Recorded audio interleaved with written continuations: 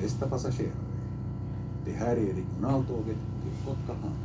Vi stannar i Myllykoski, Inkeroinen, Tavasti, Kymmenen, Kyminlinna, Paimenportti och Kotka. Trevlig resa.